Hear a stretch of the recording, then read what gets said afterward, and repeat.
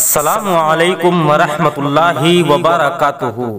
حضور صلی اللہ تعالی علیہ وسلم کی بتائی ہوئی اس دعا سے، اس عمل سے آپ کی ساری پریشانی، ساری مشکلات دور ہو جائیں گی۔ وہ کون سی دعا ہے؟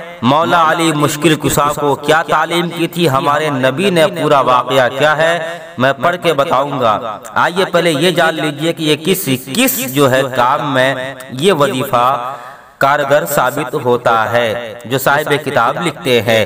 کہتے ہیں کہ میٹھے میٹھے اسلامی بھائیوں، جب بھی بیماری قرض داری مقدمہ بازی، دشمن کی طرف سے ایزا رسانی بے روزگاری یا کوئی سی بھی آفت ناگہانی آن پڑے، کوئی چیز گم ہو جائے، کسی کی بات سن کر صدمہ پہنچے، کوئی مارے دل دکھ جائے، ٹھوکر لگے، گاڑی خراب ہو جائے، ٹریفک جام ہو جائے، کاروبار میں نقصان ہو جائے، چوری ہو جائے الغرض چھوٹی یا بڑی کوئی سی بھی پریشانی ہو۔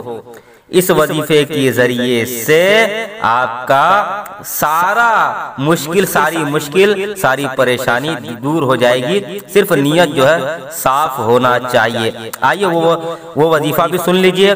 مولا علی مشکل کشا سے حضور نے کیا فرمایا؟ کہتے ہیں کہ مولا مشکل کشا حضرت سیدنا علی المرتضی شیر خدا رضی اللہ تعالیٰ عنہ سے روایت ہے کہ سلطان مکہ مکرمہ تاجدار مدینہ منورہ مکین گمبد خضرہ صلی اللہ علیہ وسلم نے ارشاد فرمایا کہ اے علی، میں تمہیں ایسے کریمات نہ بتا دوں جنہیں تم مصیبت کے وقت پڑھ لو۔ عرض کیا، ضرور ارشاد فرمائیے، آپ صلی اللہ علیہ وسلم پر میری جان قربان۔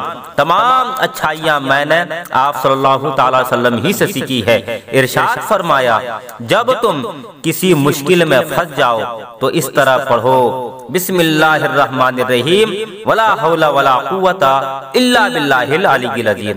کیا وظیفہ کرنا ہے سنیے، بسم اللہ الرحمن الرحیم، ولا حول ولا قوت الا باللہ العلی العظیم۔ پھر ایک بار سن لیجیے، بسم اللہ الرحمن الرحیم، ولا حول ولا قوت الا باللہ العلی العظیم۔ اللہ کے رسول فرماتے ہیں کہ پس اللہ عز و جل اس کی برکت سے جن بلاؤں کو چاہے گا دور فرما دے گا۔ سبحان اللہ سبحان اللہ۔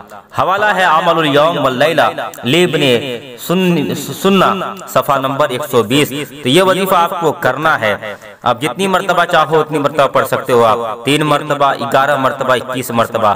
جب بھی آپ کوئی پریشانی میں پڑھو تو یہ وظیفہ آپ پڑھ لو۔ بسم اللہ الرحمن الرحیم۔ ولا حول ولا قوت الا باللہ علی العظیم۔ تین بار پڑھیے، سات بار پڑھیے، اکیس بار پڑھیے، یا پھر جو ہے اکتالیس بار پڑھیے، یا ایک سو ایک بار پڑھیے۔ جتنی مرتبہ پڑھیں گے، اتنا آپ کا فائدہ ہوگا۔ اپنی پریشانی کے حساب سے پڑھتے رہیے۔